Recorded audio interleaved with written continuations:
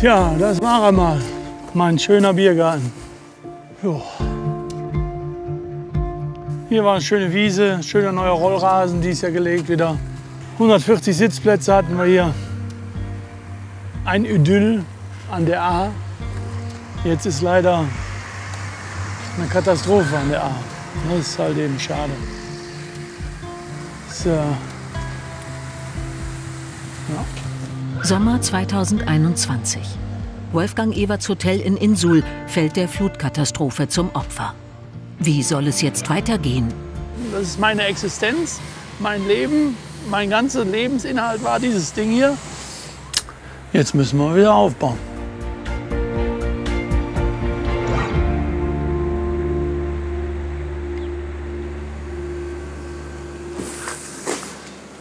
Was ist denn los mit dem Dumme? Muss sich ja mittlerweile überall auskennen, aber ah, jetzt läuft er. Das sind die wichtigsten Geräte momentan.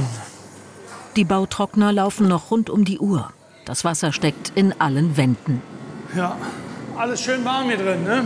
Man sieht ja, äh, also das Wasser stand ja bis oben. Also hier kommt es jetzt so langsam runter. Ne? Wird jetzt wird immer besser. So, daher vor fünf Wochen war noch eine schöne Küche. Eine schöne Küche. Auch, hatten hier vorne die Küche. Ja, die ersten drei Tage waren nur Tränen, Tränen, Tränen, Tränen. Und Verzweiflung halt. Ne? Das ist so, äh, kann man so äh, nicht anders sagen. Und da waren ja auch die viele, die gesagt haben, naja, nie mehr und weg. Und da hörte ich auch dazu. Und ähm, ja, jetzt hören wir dazu, packen wir es wieder an. Dafür braucht es jede Hand. Das Vorderhaus muss abgerissen werden. Alles muss raus. Diese Aufgabe hat für heute Sohn Lukas übernommen. Sauber machen, aufräumen, Geröll wegbringen. Da ist er doch. Ja, der funktioniert immer.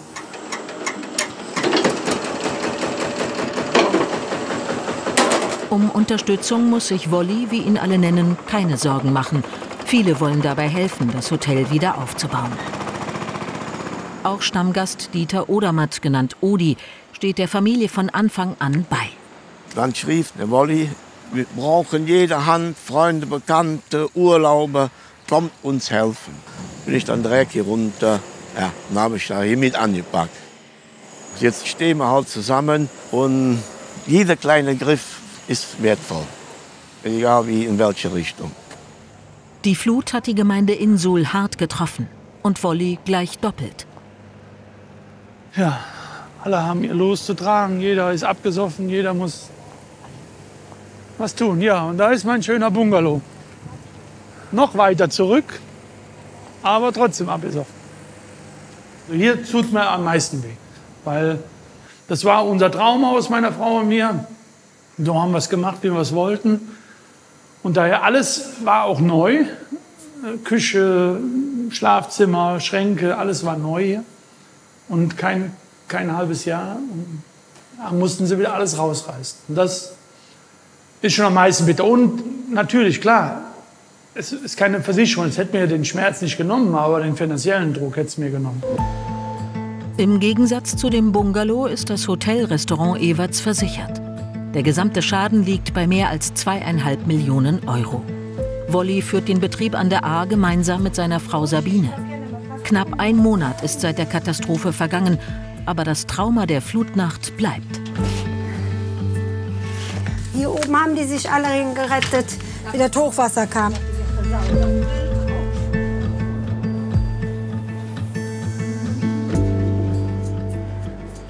Jetzt muss man sich vorstellen, hier haben unsere Familie Krahe gewohnt, unsere Nachbarn.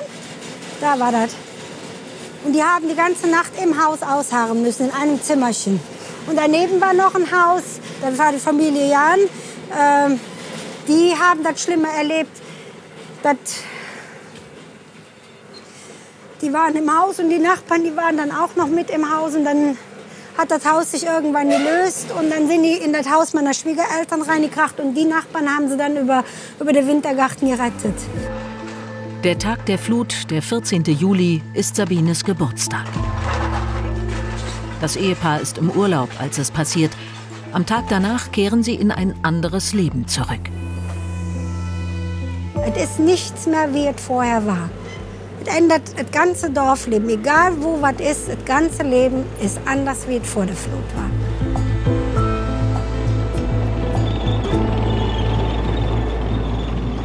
Alles anders. Fast wie nach einem Krieg. Dazu passen auch die Räumpanzer, die in Insul einrücken.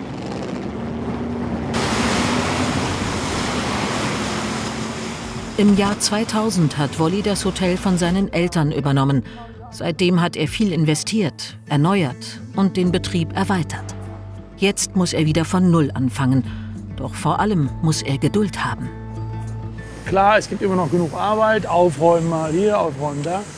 Aber das Schlimme ist halt eben, wir könnten jetzt weitermachen, aufbauen, aber das geht halt nicht. Wir müssen jetzt erstmal langsam trocknen, ah, dann Pläne machen und so weiter und so fort. Bis zur geplanten Eröffnung ist es noch ein weiter Weg. Vier Monate später. Winter im Ahrtal. Der Wiederaufbau schreitet voran. Heute werden Löcher im Boden gestopft. Das Baumaterial holt Wolli mit einem geliehenen Traktor. Aber die Mechanik des Kippladers macht alle ratlos. Auch Sohn Lukas.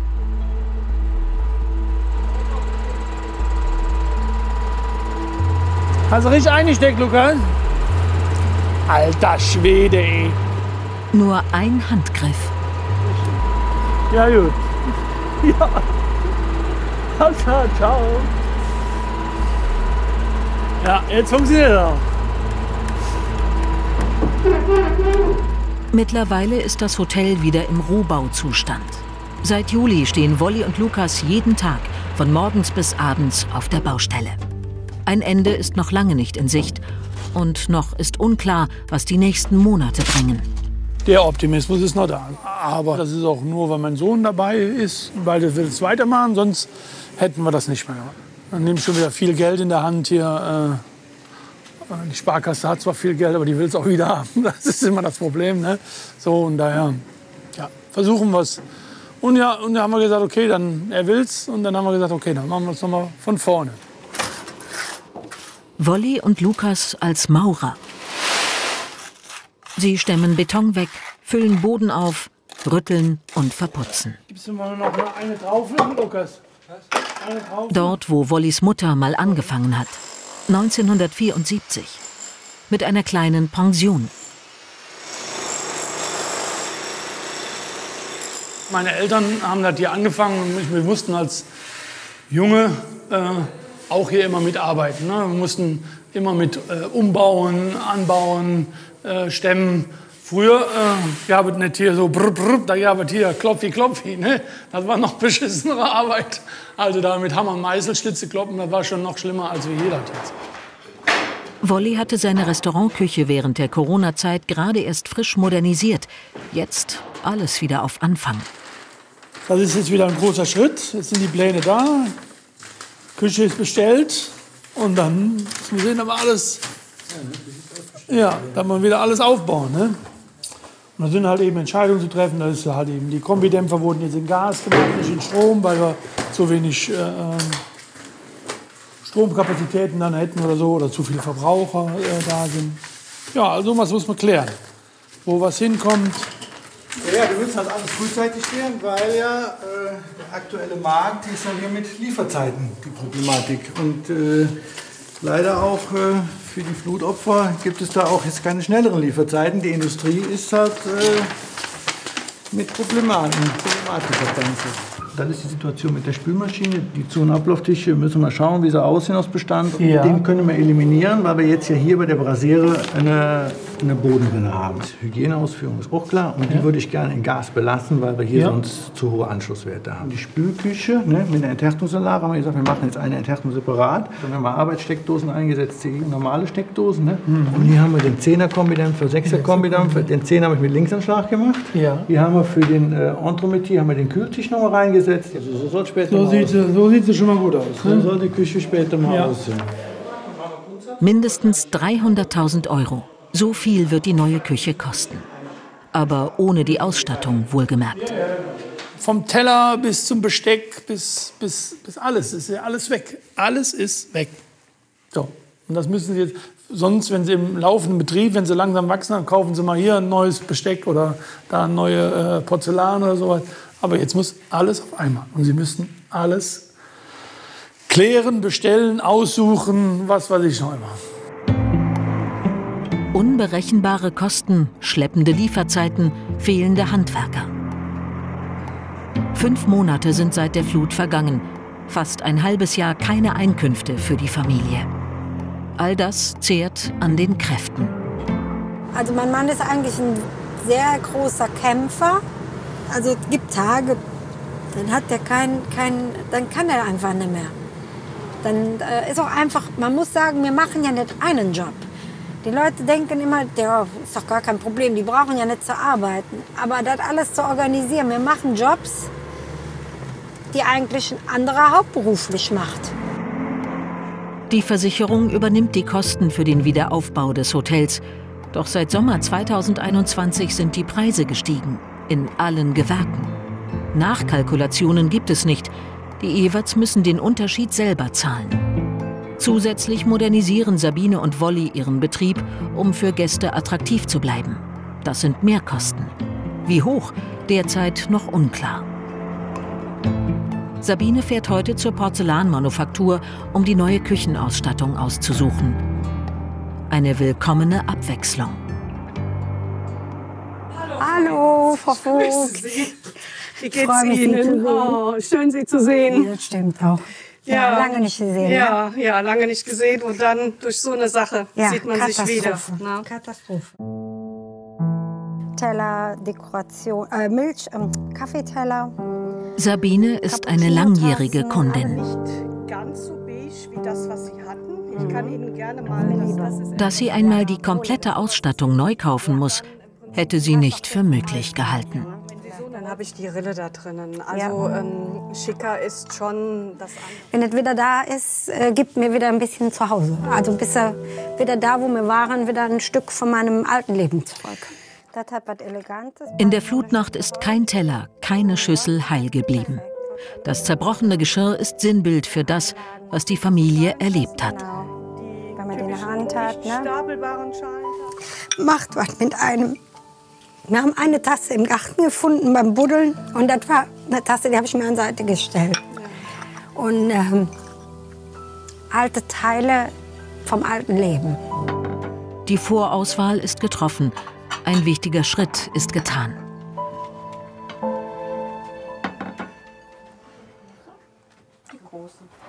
Jetzt müssen wir uns natürlich schnellstmöglich entscheiden, damit der Preis auch noch stimmt. Ne? Problem ist ja ganz einfach, wenn, ähm, wenn die Preise wirklich so steigen, wir müssen das haben, dann wird ja für uns auch eine Katastrophe. Das macht ja wieder da die Summe, da ein bisschen, da ein bisschen und dann bleibt am Ende irgendwas auf der Strecke, was nicht mehr bezahlbar ist. Ja. Im Frühjahr 2022 Fortschritte auf der Baustelle. Der Vorbau des Hauses mittlerweile abgerissen. Jetzt soll hier ein neuer Gebäudetrakt entstehen. Auf der Bank. Ach so, okay. Alles klar, bis gleich. Okay. Lukas, du sollst mit mir über die Lampen sprechen, ob du das so haben willst. Das ist nämlich gar nicht sein Thema. Der will die Lampen alle nicht haben.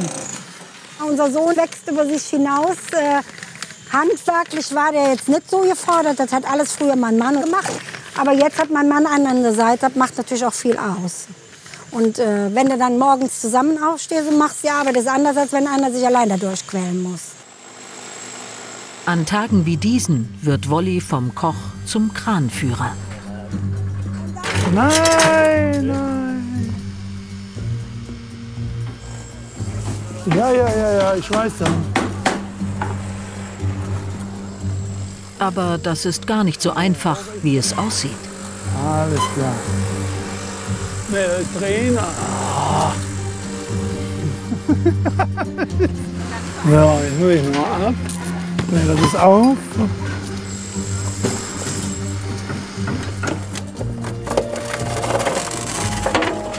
Geschafft. Mit kleinen Erfolgen kehrt auch ein bisschen Leichtigkeit zurück. Mega. Wisst ihr, man lernt alles hier.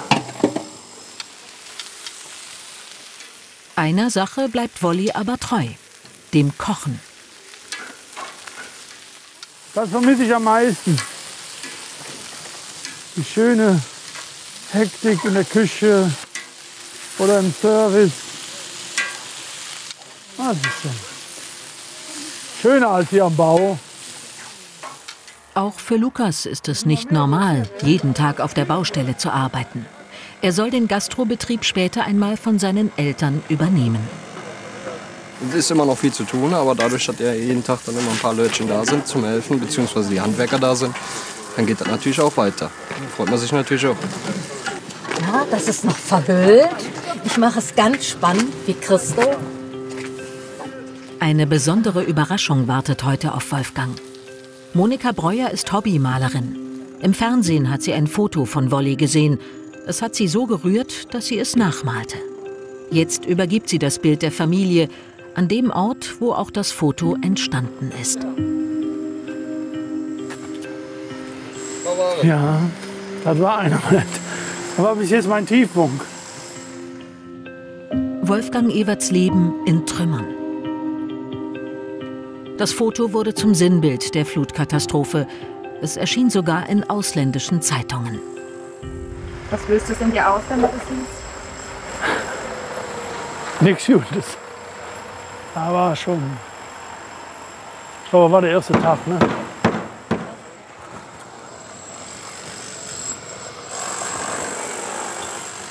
Das kommt jetzt erstmal mit zu uns nach Hause. Nachher kriegst du einen schönen Platz im Hotel.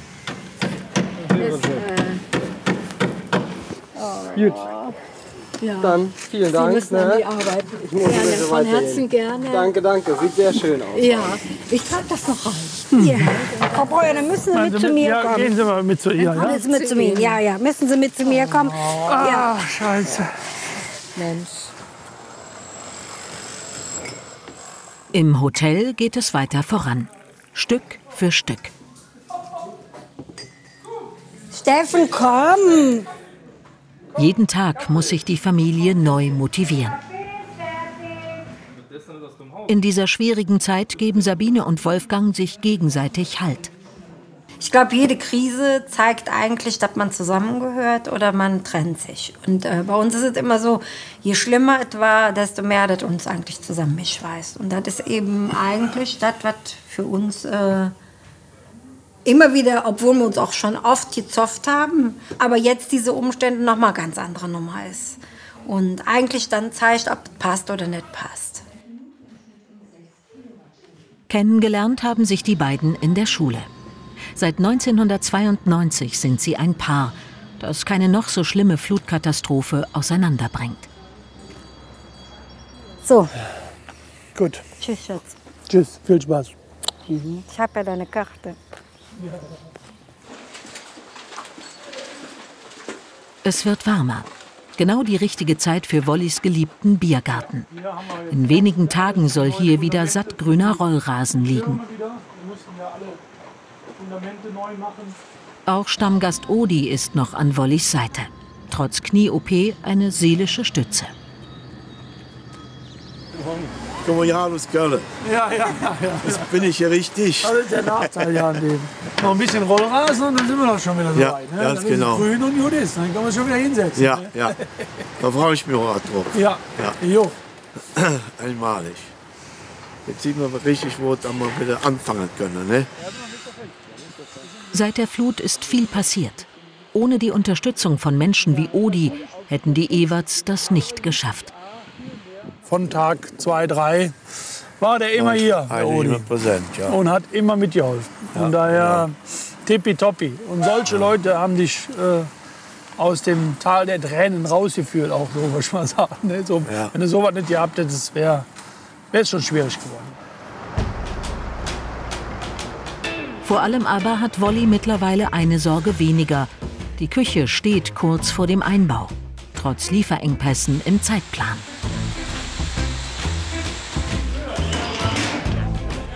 Super. Momentan läuft alles. Es äh, sind keine großen äh, Pannen oder Fehler oder sonstiges. Und daher alles gut. Bin sehr zufrieden. Wenn der Plan alles aufgeht, erst in zwei Wochen im April Fertigmontage. Wenn bis dahin alles vorbereitet ist. So, hier kommen beide Kombidämpfer hin. Einmal der 10er Kombidämpfer, einmal der 6er Kombidämpfer, einmal die große Kippradpfanne. Hier ist die Patisserie, kommt alles hier hin. Momentan ist eine der größten Herausforderungen sind Lampen. Aber das liegt nicht am Elektriker, liegt an meiner Frau. Inwiefern? Ja, weil die keiner aussucht. So, und, und meine Frau meinte, sie sucht die heute aus und morgen sind die da. Und wir haben ja Lieferzeiten an. So, und daher ist das momentan ein Problem. Jetzt sind wir schon so weit. Äh, haben zwar die. Schienen, aber wir wissen jetzt die Lampen noch nicht, die wissen noch, wo keine Kabel hin tun müssen. Und wo wir keine Kabel wissen, wo hin tun, können wir die Decke nicht zumachen. Wenn wir die Decke nicht zumachen, können wir nicht eröffnen. Im Klartext ist die Flut die Frau. Doch dann kommt alles anders. Wenige Wochen später, kurz vor der geplanten Eröffnung, ein Rückschlag. Der Gastraum wieder im Rohbau. Der Boden wieder herausgerissen. Ja. So sieht es mittlerweile aus. Was ist geschehen?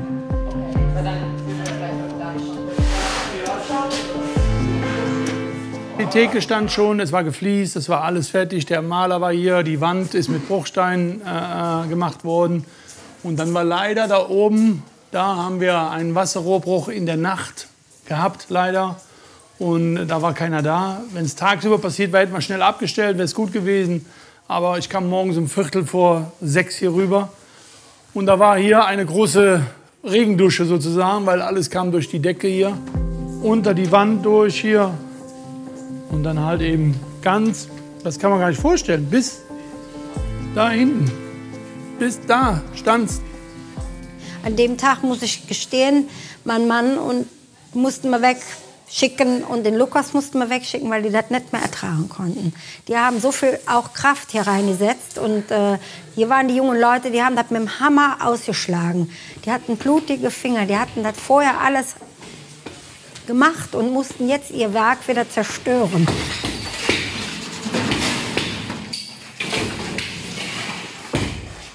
Noch einen Tag und dann hätten wir aufmachen können. Und äh, da, ja, und leider haben uns da wieder oh, schon wieder mit Wasser äh, einen großen Strich durch die Rechnung gemacht. Irre. Äh, man ist, ja, ich weiß gar nicht, was man dazu sagen kann. Man ist einfach nur leer. Das ist, äh, das geht gar nicht. Wir, wir haben uns jetzt elf Monate so motiviert und so reingehauen hier. Und, und dann kriegst du da beide quasi kurz vor der Eröffnung kriegst du wieder sowas dazwischen. Das äh, irre. Die Versicherung wird den Schaden bezahlen. Doch der Wasserrohrbruch wirft Sabine und Wolli in ihrem Zeitplan um mehrere Wochen zurück.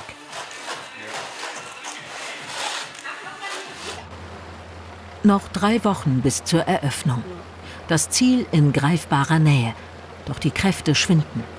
Finanzielle Sorgen plagen Sabine und Wolfgang. Etwa eine halbe Million Euro haben sie mittlerweile aus eigener Tasche in den Wiederaufbau investiert. Einnahmen hatten sie keine. Das ist ja bald ein Jahr, wenn jetzt ein paar Monate noch rum ist. Ein Jahr kein Verdienst, nur, nur Ausgaben. Boah, hat, ähm, es wird langsam Zeit, dass wir wieder Geld verdienen.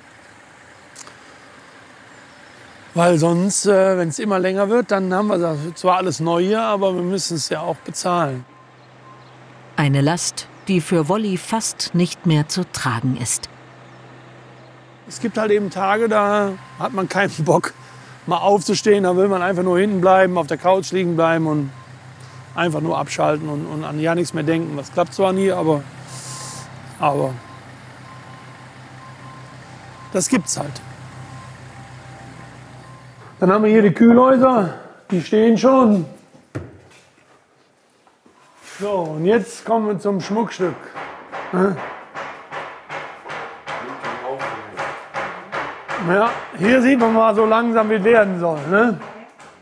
Der Lichtblick. Die neue Küche ist Wollys ganzer Stolz. Hier, ne? Hier kann man kochen, ne? Wir haben jetzt zwei Gas für ähm, Vorbereitung noch. Hier haben wir den Lavasteinkrill, hier haben wir die tiefe Grillpfanne. Dann haben wir drei äh, Induktionsfelder, äh, Fritteuse, klar, dann Nudelkocher und Bämmerie. Das ist Freude. Das ist es Freude, äh, äh, wo, man, wo man sagt, so, ich sagte auch zu meinen Handwerkern, ich bin froh, wenn ich euch nicht mehr hier in meiner Küche sehe und wir sind hier schön am Arbeiten. So, das macht Spaß. Und dann ist er da. Der Tag, an dem der Betrieb wieder anläuft und das Hotel eröffnet. Mit einer Feuerprobe. Das jährliche Treffen der Oldtimer-Biker. Rund 100 Gäste erwartet Sabine für den Nachmittag. Das Wetter spielt mit. Die Hotelzimmer hatten bei der Flut keinen Schaden genommen.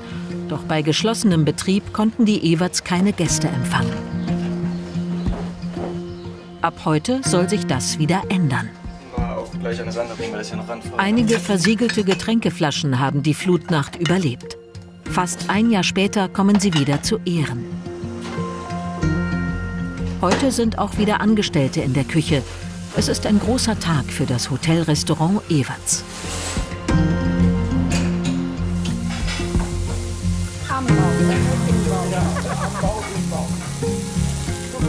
Und endlich darf Wolli wieder kochen. Man muss auch alles neu lernen hier. Ne? Das ist ja alles neue Küche und äh, man muss mal wieder ein bisschen neu lernen.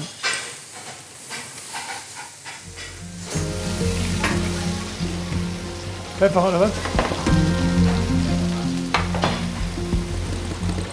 Und dann kommen sie, die Gäste, auf ihren heißen Öfen. Das sind richtige Oldtimer. Ein Schritt in Richtung Normalität für Familie Everts. Wenn man die Dinger sieht hier, das, da geht einem das Herz ja auf. So, das ist das eine schöne Sache. Und daher sind wir froh und die Leute wieder froh, dass endlich nach drei Jahren, zwei Jahre Corona, ein Jahr Flut, wieder diese Veranstaltung wieder ist. Nach vielen Monaten harter Arbeit kann auch Lukas endlich wieder das machen, was ihm liegt und was er gelernt hat.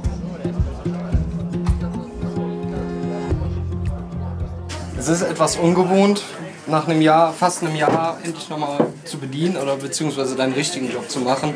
Aber es macht trotzdem wieder Spaß. Man merkt halt doch schon mal, was man vermisst hat. 10 Euro bitte. Alte und neue Wegbegleiter sind heute mit dabei. Ohne Krücken kann Odi sogar im Service aushelfen. Alles fast wie früher.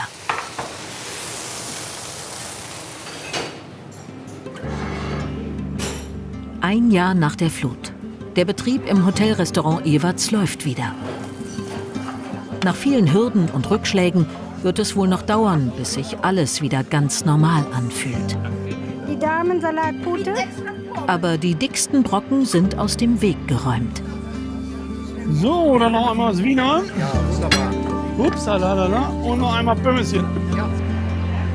Und auf eines war dabei immer Verlass. Wo wir am Anfang den Mut verloren hatten, haben wir den Mut auch wieder gefunden und wir wollten es auch weitermachen.